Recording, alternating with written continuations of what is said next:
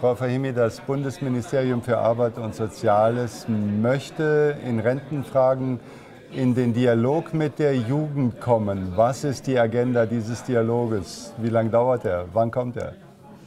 Ja, die Bundesarbeitsministerin hat bereits eingeladen zu einem solchen Dialog, viele Jugendverbände. Und wir möchten gerade auch mit der jungen Generation schnell in das Gespräch kommen, was sie sich dann erwarten von der Alterssicherung und wie viel sie davon in der umlagefinanzierten Systematik oder aber eben in einem Kapitalsystem auch sehen, was sie als gerecht empfinden, was sie als Zukunftsherausforderungen sehen. Und wir finden eben gerade wichtig, auch mit der jungen Generation schnell ins Gespräch zu kommen, weil klar ist, Rente ist halt nicht nur so eine tagespolitische Eintagsfliege, sondern es geht eben um langfristige und nachhaltige Konsense, die wir herstellen müssen. Und deswegen gilt, junge Generation muss ins Boot und muss hier ihre eigenen Vorstellungen formulieren können.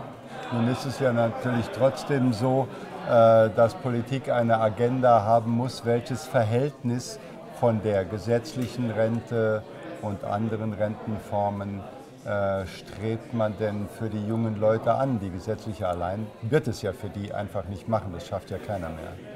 Naja, die gesetzliche Rentenversicherung in Deutschland hat ja schon so einige historische Krisen überlebt. Wir sind davon überzeugt, dass das sozusagen der feste Stamm ist, um den sich alles entwickeln muss.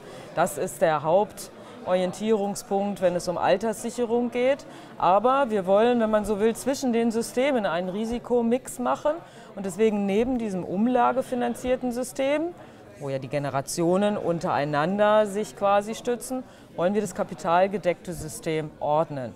Da gibt es im Moment eine Vielfalt der geförderten und der nicht geförderten Alterssicherung. Und wir glauben, dass wir hier die kapitalgedeckte einfach stabiler daneben stellen müssen und dass diese Ergänzung auch langfristig Sinn macht, unabhängig davon, ob jetzt mal mhm. der Kapitalmarkt oben oder unten ist.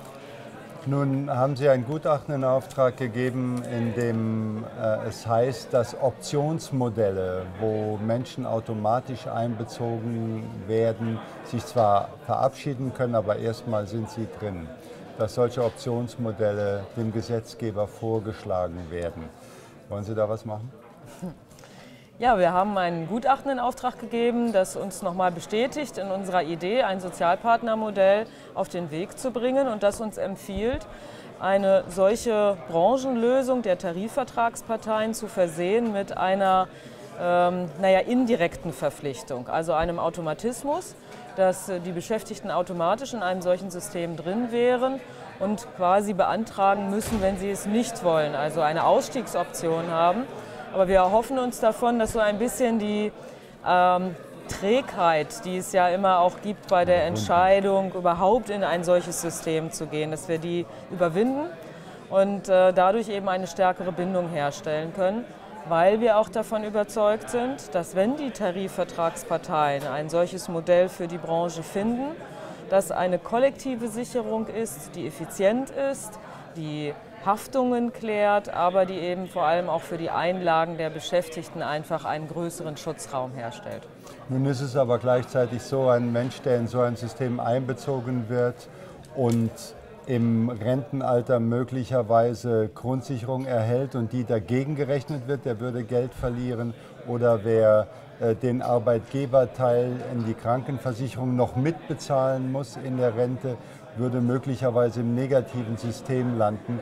Das wären ja echte Gegenspieler eines solchen Systems oder der erfolgreichen Durchführung.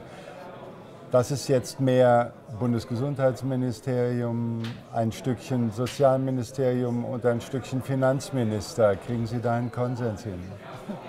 Ist eine völlig berechtigte, aber eben zusätzliche Frage. Ich bin der Überzeugung, dass wir erstmal dafür sorgen müssen, dass die Leute ein stabiles Erwerbsleben haben und ein gutes Einkommen. Deswegen gute Rente ist auch immer eine Frage, wie gut wir für eben gute Löhne sorgen. Und deswegen müssen wir Arbeitsmarkt, auf dem Arbeitsmarkt Ordnung schaffen und Tarifbindung stärken.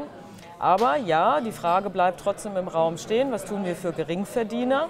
Auch hier finde ich äh, einen Vorschlag des Gutachtens beim Finanzministerium spannend, dass wir ein Geringverdienermodell machen, wo es also einen direkten steuerlichen Zuschuss gibt für diejenigen, die unter 1500 Euro verdienen. Bleibt die Frage, wenn jetzt aber alles am Ende eines Erwerbslebens schiefgelaufen ist, doch ohne dass man das gewollt hat. Und man fällt jetzt tatsächlich in die Grundsicherung im Alter. Ja, was passiert dann eigentlich mit meinen Ersparnissen, die ich vielleicht trotzdem hier und da gesammelt habe? Absolut berechtigt. Unsererseits prüfen wir, inwieweit wir das nicht mehr anrechnungsfähig machen. Es ist aber sehr, sehr schwierig, weil wir hier nicht mehr über die Rente, sondern über das Sozialhilfesystem reden. Und äh, da brauchen wir auch einen breiten Konsens über die Ministerien und die juristischen Bedenken hinaus. Schweres Stück Arbeit, das wir zu leisten haben, aber allemal ein Prüfauftrag fähig. Vielen Dank, lassen Sie uns hoffen und mitdiskutieren. Vielen Dank, Frau Fahimi. Danke auch.